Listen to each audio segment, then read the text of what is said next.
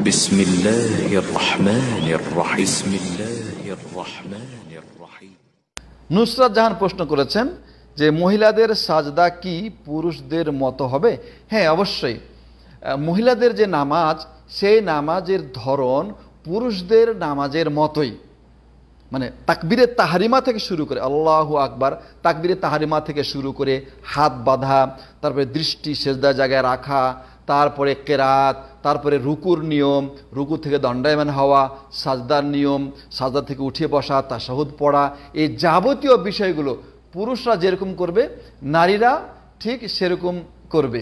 হ্যাঁ নারীদের এর কোনো আলাদা যে নামাজের যেটা কথা আমাদের সমাজে বলা হয়, এগুলি সহি হাদিস দ্বারা রাসুল সাল্লাহ সাল্লাম থেকে প্রমাণিত নয়, রাসুল সাল্লামের স্ত্রীদের আমল থেকে প্রমাণিত নয় বা মহিলা সাহাবিদের থেকে প্রমাণিত নয়।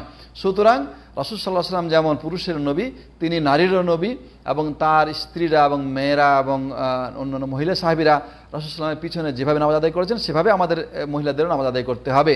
অর্থাৎ তারা পুরুষদের মতোই এভাবে নামাজ আদায় করবে। তবে নামাজের বাহিরে কিছু পার্থক্য আছে। নামাজের তাকবিরে তাহারিমের বাহিরে যে কাজগুলো, সেগুলোকে নামাজের বাইরে বলা হয়, তাই না?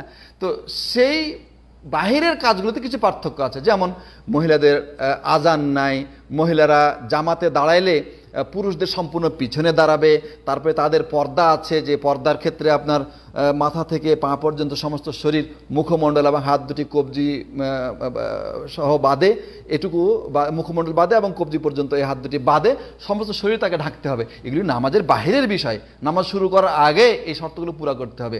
তো মহিলা, মহিলাদের জন্য এই জিনিসগুলো আলাদা। কিন্তু তাকবিরের তাহারিমা থেকে শুরু করে সালাম ফিরা পর্যন্ত যাবতীয় কাজ পুরুষ এবং মহিলা সব একই রকম, এতে কোনো সন্দেহ নাই এবং এই আলাদা বলার পক্ষে সহি কোনো দলিল নাই। আশা করি বুঝতে পেরেছেন।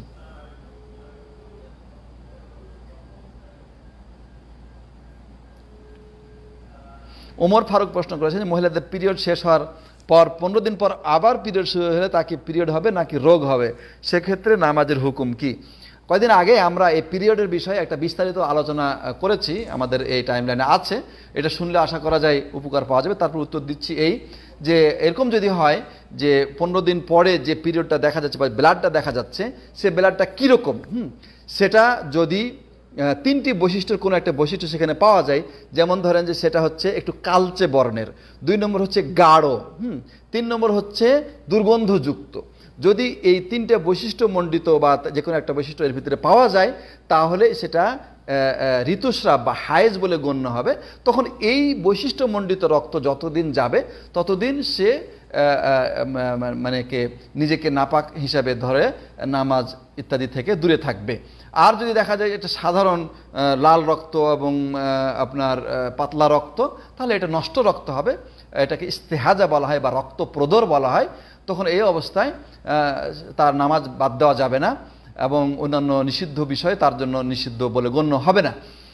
সে, তবে সে প্রত্যেক ওয়াক্তের জন্য আলাদাভাবে আগে পরিষ্কার হয়ে নেবে প্যাড বা জাঙ্গা ইত্যাদি পরে নেবে, তারপরে উজু করে সে ওই ওয়াক্তের যাবতীয় নামাজ আদায় করতে পারবে।